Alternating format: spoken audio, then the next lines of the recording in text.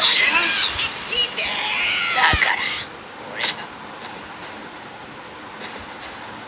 শুভেচ্ছা সবাইকে আশা করি সবাই অনেক অনেক ভালো রহন বিজয় হচ্ছে আপনাদের সাথে সো ভিউয়ার্স ফাইনালি কিন্তু ওয়ান পিসের যেই গিয়ার ফিফথের যেই অ্যামেজিং আর মোস্ট ওয়েটেড এপিসোডটি আছে সেটা কিন্তু রিলিজ হয়েছে আপনারা হয়তো ইতিমধ্যে অনেকেই দেখেছেন সো আমরা বেসিক্যালি হচ্ছে আজকের ভিডিওটা একটু ডিফারেন্ট করছি বিশেষ করে 海賊王 যারা আর্ট এনথুসিয়াস্ট আছেন বা আর্ট নিয়ে পড়াশোনা করছেন আর যারা হচ্ছে ভবিষ্যতে আর্টে আসবেন বা চারুকলায় পড়াশোনা করেন, বিশেষ করে গ্রাফিক্স ডিজাইন নিয়ে, তাদের কেন এই ওয়ান পিস অ্যানিমেশনটি দেখা উচিত?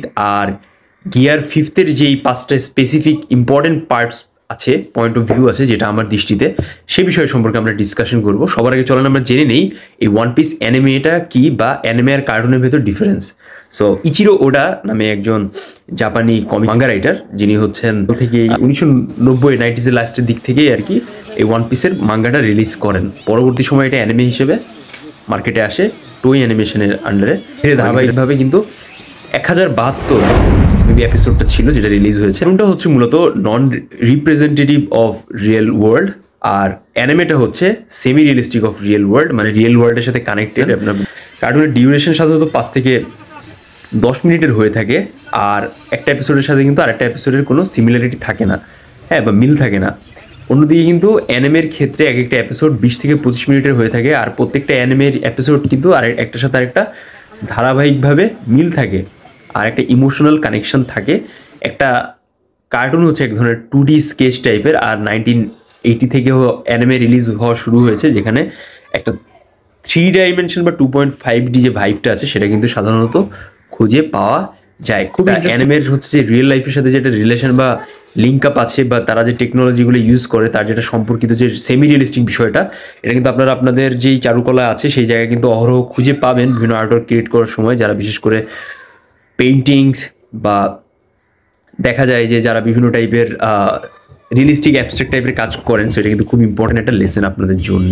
ওকে হচ্ছে যে জেনারেলি আসলে একটা হিউমার বেস ব্যাপারটা থাকে আর কি কার্টুনের ভেতরে বাট একটা কনসেপ্ট বেস বিষয়টা থাকে, একটা কানেকশন উইথ হিউম্যান ইমোশনের যে বিষয়টা আছে, সেটা কিন্তু সরাসরি একটা অ্যানিমেতে খুঁজে পাওয়া যায়। এবার আমি কেন বলছি যে ওয়ান পিসের লুফির গিয়ার ফিফথ যে বিষয়টা আছে, এটা খুবই ইন্টারেস্টিং এটা মূলত আমি পাঁচটা ভাগে ভাগ করেছি। প্রথমটা হচ্ছে কম্পোজিশন আপনারা যারা হচ্ছে অলরেডি এই অ্যানিমেশনটা দেখছেন বা অ্যানিমে দেখতেছেন আর কি বিশেষ করে যারা ওয়ান পিস ফ্যান আছেন, ভক্ত আছেন, তারা কিন্তু এই জিনিসের সাথে খুব ভালো করে ইন্টাররিলেট করতে পারবেন।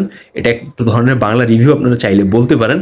কেন? কারণ কম্পোজিশনের বিষয়টা এরকম, আপনারা যখন দেখবেন যে প্রথম সাত মিনিটের পরে মেরিজোসের পাঁচ মিনিট পরে আর কি মেরিজোসের যে বিষয়টা দেখায়, সেখানে যে গোরোসানরা বসেছিল, তারা যে একটা কম্পোজিশন রিলেটেড যে স্পেসটা আর কি তাদের ক্রিয়েট করা হয়েছে প্রত্যেকটা ফ্রেম ওয়াইজ ফ্রেম এটা কিন্তু খুবই ইন্টারেস্টিং আর আপনারা যদি এটা ভাগ করেন বিভিন্ন কম্পোজিশন মার্জিনে বা বিভিন্ন রেশিওতে আপনারা কিন্তু খুবই একটা দারুণ সাইন্টিফিক বিষয় এখানে খুঁজে পাবেন। সো যারা বেসিক্যালি অ্যানিমে রিলেটেড বিষয় নিয়ে ঘাটাঘাটি করেন বা যারা হচ্ছে এই রিলেটেড হয়তো বা ভবিষ্যতে পড়তে আসবেন, তাদের জন্য কিন্তু এটা খুবই দারুণ একটা ব্যাপার।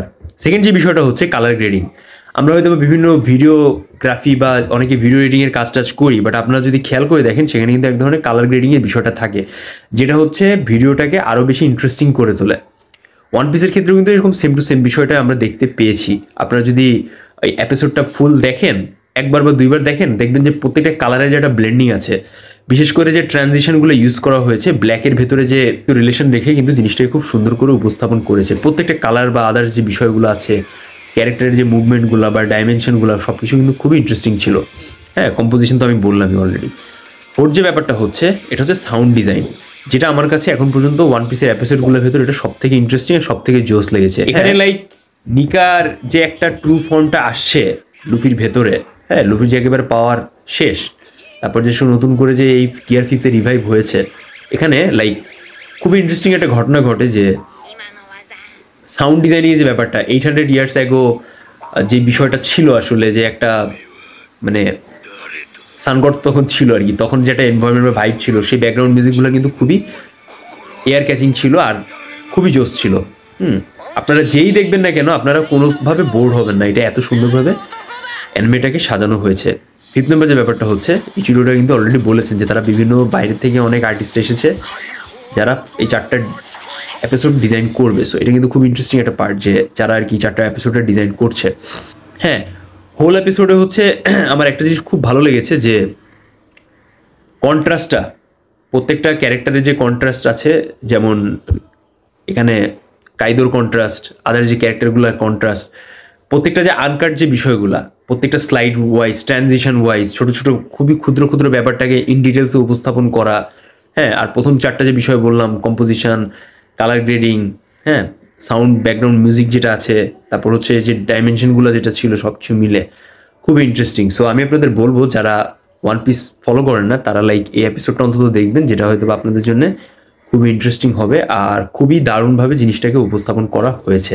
ওকে সো আমি লাইক ভিডিওটাকে বেশি লেন্দি করব না, আমার জাস্ট একটা ছোট্ট ভালো লাগার বিষয়টা দেয় জায়গার দিক থেকে আর কি আপনাদের সাথে এই বিষয়টাকে শেয়ার করা তো যারা হচ্ছে আমাদের সাথে জয়েন করতে যাচ্ছেন আমাদের সেকেন্ড সেশনে অবশ্যই আমাদের কমেন্ট বক্সে জানাবেন। আর অবশ্যই ওয়ান পিস অ্যানিমে দেখবেন। বিশেষ করে যারা হচ্ছে টম এন্ড জেরি দেখতে পছন্দ করেন, তাদের জন্য কিন্তু এটা খুবই ভালো লাগবে, যেহেতু এটা অ্যানিমে আর রিয়েল লাইফের সাথে রিলেশন আছে। আপনারা ওয়ান পিসের প্রেমে পড়ে যাবেন। ওকে সো ভিউয়ার্স সবার কাছ থেকে অনেক অনেক ধন্যবাদ জানাচ্ছি যে যারা শেষ পর্যন্ত ভিডিওটা দেখলেন কমেন্টস বক্সে জানান ভিডিওটা কেমন লাগল। আর দেখা হবে নেক্সট এপিসোডে আর এই তো, এই ছিল ওভারঅল আজকের গল্প। সবার কাছ থেকে বিদায় নিচ্ছি, টাটা।